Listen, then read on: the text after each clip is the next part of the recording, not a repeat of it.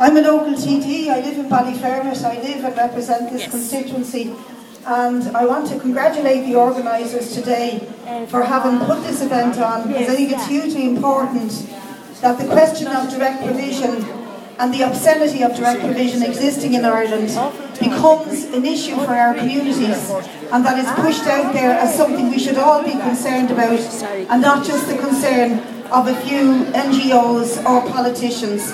I think it should be really a concern of, an awareness of in every community. So today's event, from that point of view, it's a brilliant idea. Us eating the food cooked by people who aren't allowed to cook food for their own families, but are feeding us today and feeding us very well indeed. So thank you very much.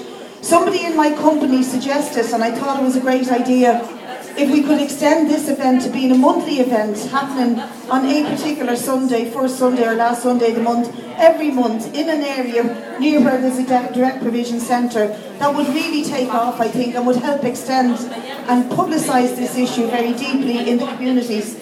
So I don't know how you go about organising that, but it's something I'd like to support and I think would be great as a way of extending the, the, this cause.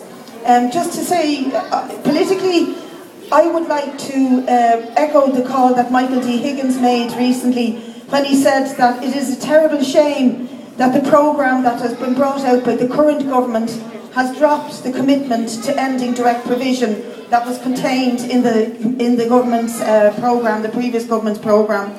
So we will be pressurising uh, this government to get that commitment to end direct provision back in as a social demand that really is not rocket science and is not exactly the most magnanimous thing we could do. In fact, it would be just about humane to give people the right to come outside of that system, the right to study, the right to live independently, the right to work, and the right to have a home here in Ireland.